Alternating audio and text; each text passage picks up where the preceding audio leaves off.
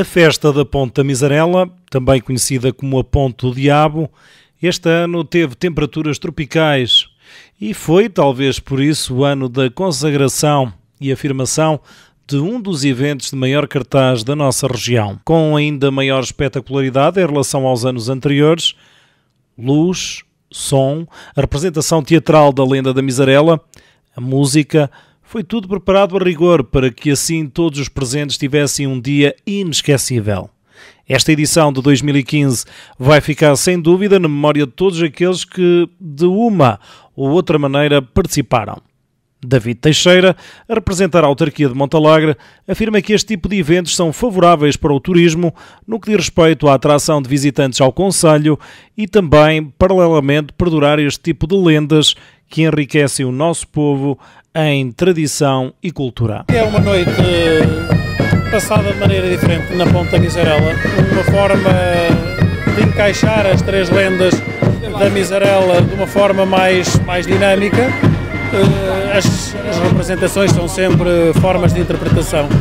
Eh, e a UI traz aqui uma, uma visão mais moderna, uma visão mais aligeirada da, da tradição uh, da Miserela, metendo uma pitada também da versão histórica das segundas invasões francesas, que infelizmente acabaram com, com, a traição e com a morte dos vigias uh, do exército barrosão, que permitiu a passagem da, das tropas francesas. mas este lugar vale pela, por esta força mítica que tem e está por explorar turisticamente.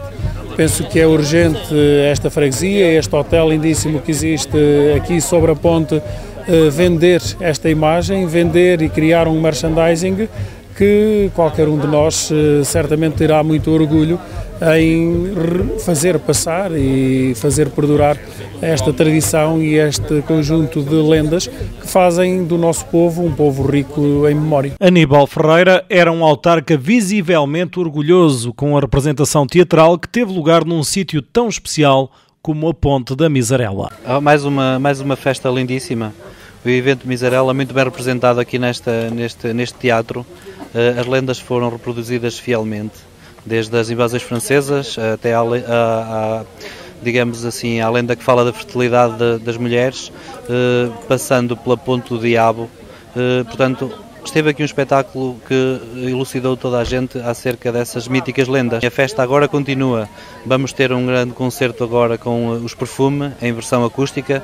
Eh, portanto, vai ser um espetáculo de certo que vai agradar a todos os presentes e que vai animar ainda mais esta festa. Seguindo-se depois uh, um grupo de DJs, portanto, o, vamos ter um grupo de, de, DJs que é constituído pelo, pelo Ricardo Couto do Porto Canal, uh, o José Araújo da MVM, Uh, e o Tosé Santos de, dos Perfumes também faz parte dessa equipa fantástica. As pessoas gostaram muito do espetáculo, pronto, é um espetáculo muito acolhedor, uh, portanto, e esta envolvência aqui perto da ponte torna este espetáculo único e, e ímpar, portanto, um espetáculo que é sempre recomendado. Resta-me agradecer à Câmara Municipal, portanto, sem, digamos assim, sem o apoio da Câmara Municipal, este evento jamais poderia atingir este, este auge. Portanto, eh, agradeço eh, hoje a presença aqui do nosso vice-presidente, eh, Dr. David Teixeira, que representa a nossa Câmara Municipal.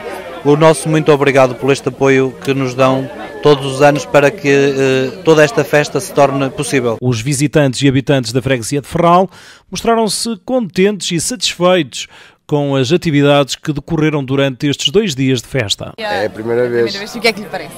Foi espetacular. Adorámos. Já conheciam a lenda? Não. Não. Não, não conheciam sequer aqui a, a sítio, zona? Nem não. o sítio, não, não conheciam. Porquê é que decidiram vir? O que é que os fez vir Foi, foi uma um- coincidência mesmo. Não, não, não É, foi um casal amigo que nos emprestou a casa, a gente veio cá e. E aproveitaram E- e para aproveitámos para vir à festa. É para repetir? Sim, sim, sem Certeza dúvida. absoluta. Depois de hoje, é. Adorei, já não é a primeira vez. Gosto muito deste tipo de, de- de eventos. Gosto da natureza e tudo, tudo que com ela. Gosto de, de- de locais assim, ermos e com história, que é o caso. E gostei muito. Porque aquele sítio é fantástico, é único, é um sítio muito forte. De facto, aquela ponte só pode ser obra do diabo. Num sítio daqueles, haver uma ponte daquelas é impressionante. É a primeira vez que cá venho, estou impressionado, verdadeiramente impressionado. O espetáculo acho que contou a lenda, ou as lendas que existem à volta da ponte, e acho que as contou bem. Muito bonito, principalmente a parte do, do teatro foi, foi fantástica, foi muito engraçada. Eh, até dos espetáculos que têm sido feitos, foi do que eu gostei mais. Bem, há anos que tem tido mais gente, mas havia muita gente. Tinha, tinha uma afluência bastante representativa. Conheço, conheço a lenda há muitos anos. E esse- foi precisamente essa lenda que foi representada lá embaixo. Durante o verão há muita gente que, que vem, de- que para mais do outro lado da ponte, que, do lado de Frades, que vem visitar a, a Misarela. E deste lado também. Todos os anos é sempre bom e todos os anos é diferente. E realmente é assim, este ano foi inovador. A parte, enfim, que, que mais se notou foi a parte do fado. Realmente, é assim, a menina e o traje que estava espetacular. Ela, o fado cantado por ela, é quase parecia a voz da Amália. Realmente foi espetacular. Pronto, é assim, bem-aja, enfim, há- às pessoas, enfim, que, que- que trabalham em prol deste invento e que todos os anos pá, façam cada vez melhor e que é uma lenda que, que se deve, pronto, enfim, todos os anos relembrar ao povo de Barroso. Pronto, e, e acho, e acho que, é, que é uma coisa muito importante para a região. Barroso é muito bonito.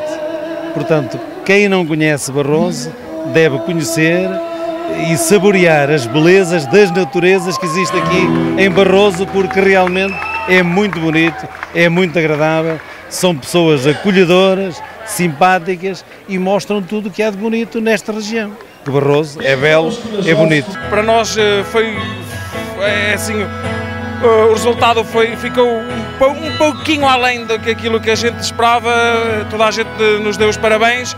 Eh, Só esperamos é estar cá novamente para os anos que vêm e, se possível, fazermos melhor. Para alguns filhos da terra, foi a primeira vez que marcaram presença. Mas porquê? Porque foi o único ano que estive cá.